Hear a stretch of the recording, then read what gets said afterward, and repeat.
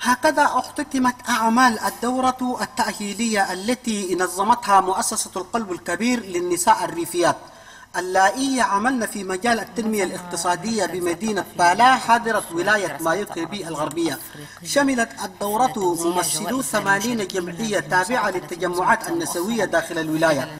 وقد أشادت ممثلة سلياف باسيامي راشيل بالجهود التي تقوم بها سيدة البلاد الأولى هند ديبي إتنو للنساء التشاديات عامة والنساء الريفيات بصفة خاصة.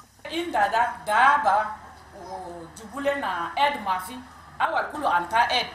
Anto le seliaf da ane na ligna machine ishirin. Ini sana ana gai forme awin 50 40 da ushokola la dil رئيس البعثة عيسى محمد مهدي أشار في حديثه إلى الأهداف التي ترمي إليها المؤسسة يقسموا للناس ال- ال- ال- الجمعيات اللي دربناهم هنا الآن النساء. ده أنا موكي مويه كبير بالشامل والمعدات دي عندها فوق جروب إلكتروجين وجندون ولا الطواحين اللي قاعدين دي كلها للعوين اللي قاعدين دي اللهم اتدربوا كلهم الشيء ده كله كل علموا منا.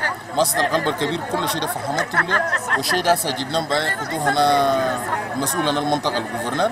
جبناه هسه القوام ده كله كلمنا وكله خلاص يقسموا لهم. 20 panneau solaire ده للمستشفى بالا ولل centre social هنا المناطق كلها. حاكم ولاية مايوكيبي الغربية ويدين آسي أسوي الذي شرف الحفل في توزيع المعدات الزراعية. توزع لعدد من الجمعيات العاملة في مجال التنمية الزراعية داخل الولاية. وللإشارة فإن مؤسسة القلب الكبير التي ترعاها سيدة البلاد الأولى هند ديبي إتنو سوف تقدم الكثير خلال الشهور القادمة. في الولايات الجنوبية.